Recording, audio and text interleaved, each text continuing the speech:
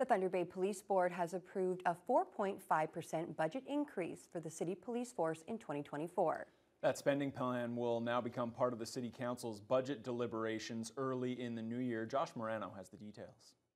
The net operating budget was approved for $54.5 million, representing a $2.3 million increase over the 2023 budget. The police board also approved a $2.9 million net capital budget, which is nearly 30% higher than last year. It's mainly due to the replacement of police vehicles and camera systems, along with new weapons and tools for the emergency task unit.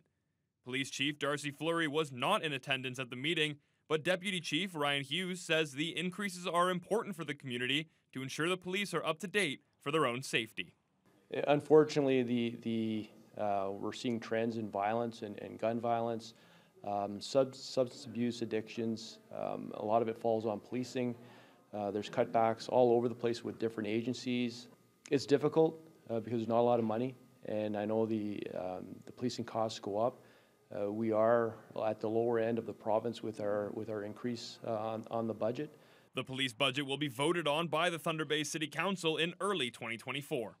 Also on the agenda was a new contract to provide continued policing services to the municipality of Oliver Paipoonge.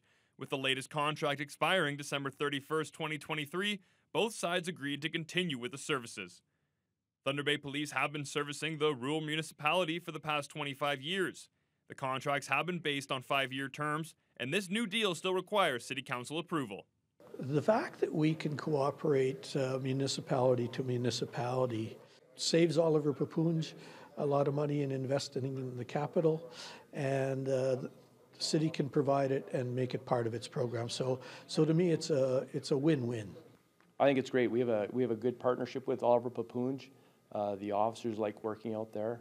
Um, and, and, it, and it connects uh, two town, like the city of Thunder Bay and the township of Oliver Paipoonge together. So I, think it's, uh, it's, it's good for our service and it's good for Oliver Paipoonge in the city. Josh Morano, TBT News.